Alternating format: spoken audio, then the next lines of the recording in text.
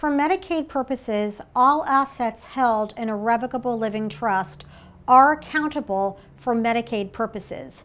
Typically, we remove assets from a revocable trust when we are planning to apply for Medicaid.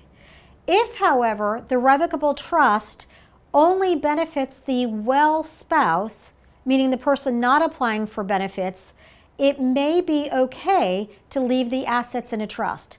These are complex questions and best answered by a board certified elder law attorney.